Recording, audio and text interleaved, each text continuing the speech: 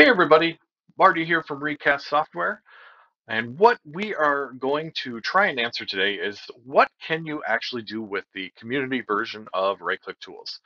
Uh, if you notice here, we've got the community version of the right-click tools installed. Um, so let's go ahead and see what are some things that we can actually do with the right-click tools.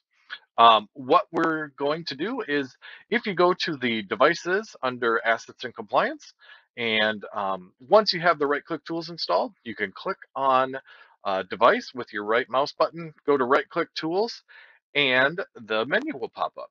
Um, if you look, the first one that we're going to talk about is this client actions up here at the top. And you may recognize some of these things that are listed here.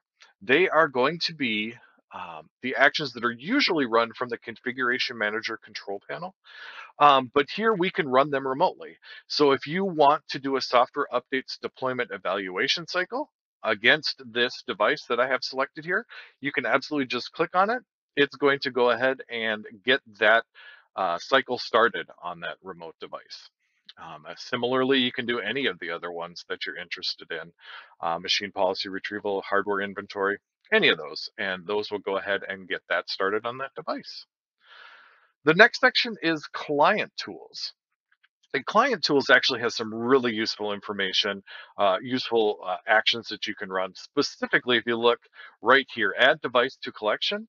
It's a wonderful way if you are on one device or you're on multiple devices, you can right click on this and it'll ask you, okay, well, which uh, collection would you like to add this to? And you can go ahead and select the collection that you'd like to add it to uh, and click start and it will go ahead and add it there.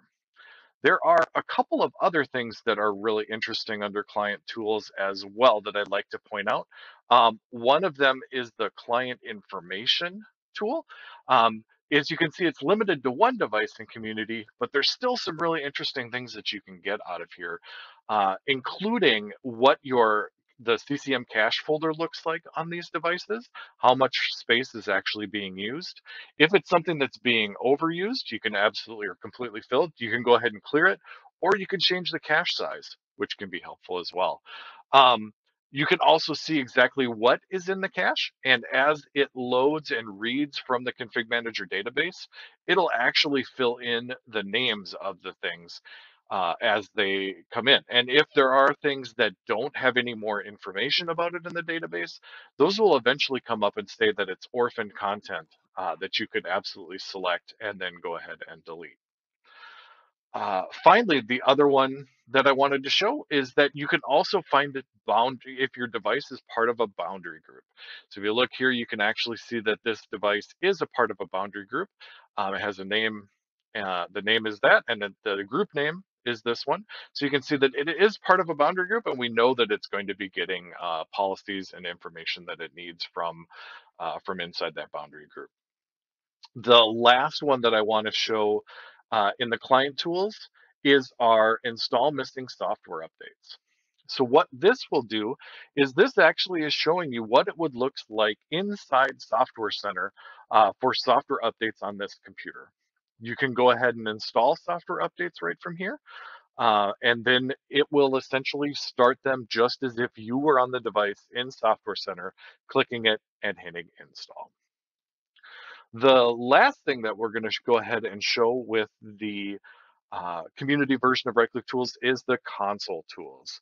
Um, this has a lot of different tools that can be useful uh, on sending um, doing things with Active Directory, if you want to go ahead and delete a device from Active Directory, you can also delete a, device from Config Manager if you needed to do that for some reason. Um, the other interesting things, you can go ahead and send notifications to this device. It'll pop up if a user's logged in. Um, and you can also get system information about this device. So if we click on system information, you can kind of see some of the things that it can tell us. Uh, it can tell us if there's a pending restart, the IP address. Um, it can also tell us the applications that are installed on the device. We can see which Windows updates have been installed on this device.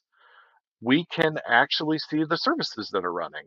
The interesting thing here is that you can actually select it and start and stop them or you can even change how they start. So if you want to have them uh, change to a manual start or you need an automatic delayed, you could absolutely do that.